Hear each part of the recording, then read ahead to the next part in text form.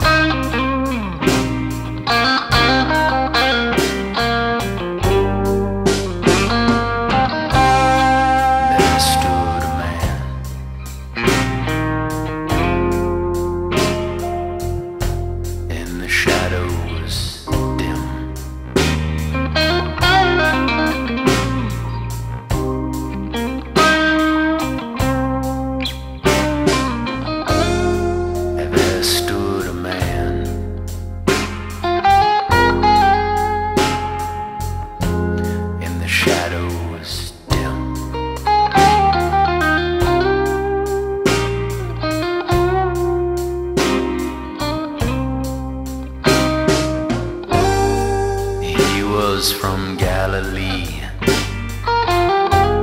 He said, I don't know.